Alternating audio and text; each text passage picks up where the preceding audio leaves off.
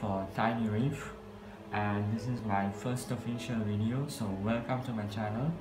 And um, this channel is going to be totally dedicated to keeping nano reefs uh, in your home. And um, the difference with this channel what I'm really focusing on is budget friendly reefing as well as practicality.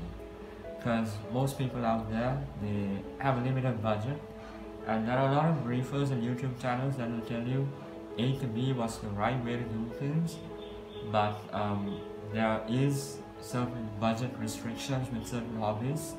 So my channel is going to be totally dedicated to um, friendly budgeting where your reef aquarium is concerned as well as practicality because you have to have access to certain equipment and there are a lot of reefers out there um, hobbies that don't have this kind of accessibility to certain products.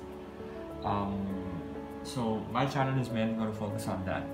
And right here I have a 10 gallon nano reef. And uh, in the next video I'm going to do a top to bottom review and run through of this system right here. I've been in the reef keeping hobby for about 6 years. And this system is totally put together of you know all the kind of uh, little little issues I've had in the past and I rectified everything.